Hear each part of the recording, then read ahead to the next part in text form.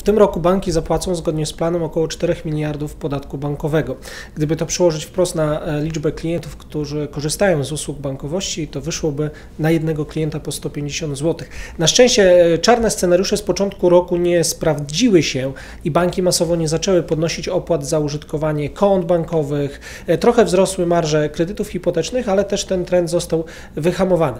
Niemniej jednak no, można się spodziewać, że jakieś ruchy po stronie produktów bankowych, po stronie opłat za te produkty nastąpią.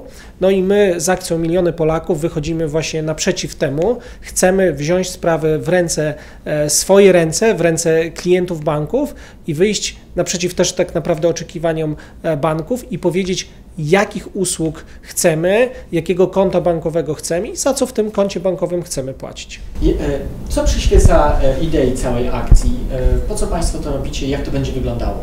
Chcemy, żeby nastąpiło pewne zbliżenie między bankami a ich klientami, żeby to klienci w akcji społecznościowej, w akcji grupowej mogli wyrazić swoje preferencje dotyczące produktu, który jest produktem masowym, z którego korzysta kilkanaście milionów Polaków i chcemy, żeby mieli e, w ten sposób wpływ na konstrukcję tego produktu. Oczywiście e, sama akcja, idea akcji nie polega na tym, żeby po prostu wybrać konto za darmo, żeby wszystko było za darmo, tylko chcemy, żeby e, pokazać bankom preferencje klientów, za co z jakich, inaczej, z jakich usług bankowych e, w koncie najczęściej korzystamy i za co i ile chcemy płacić. Czyli efektem finalnym całej akcji będzie to, że banki też dostaną taką informację, czego też klienci od nich oczekują.